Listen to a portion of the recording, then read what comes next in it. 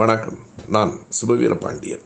ஏறத்தாழ இருபது ஆண்டுகளுக்கு முன்னால் அமெரிக்காவில் உள்ள சிகாகோவிற்கு சென்றிருந்த போது அங்கே இருக்கிற ஹே மார்க்கெட் என்னும் இடத்தை பார்க்க வேண்டும் என்று ஆசைப்பட்டேன்.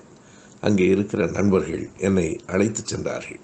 அந்த ஹே மார்க்கெட் என்கிற இடத்திலே தான் ஆயிரத்தி எண்ணூற்றி எண்பத்தி ஆறாவது ஆண்டு மே மாதம் தொழிலாளர்களின் மீது துப்பாக்கிச் சூடு நடத்தப்பட்டு பலர் உயிரிழந்தார்கள். அந்த தொழிலாளர்கள் வைத்த கோரிக்கை எட்டு மணி நேர வேலை எட்டு மணி நேர ஓய்வு எட்டு மணி நேர உறக்கம் என்பதுதான்.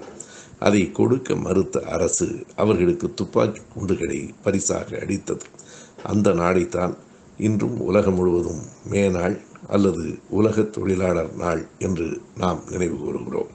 ஆனால் அந்த ஹே மார்க்கெட் என்னும் இடத்திற்கு நாங்கள் சென்றபோது அந்த போராட்டம் நடைபெற்றதற்கான ஒரு சிறு அடையாளம் கூட இல்லை. எந்த இடத்திலும் நினைவு கல்வெட்டு இல்லை. அனைத்தையும் அழித்து விட்டார்கள். நன்றி. வணக்கம்.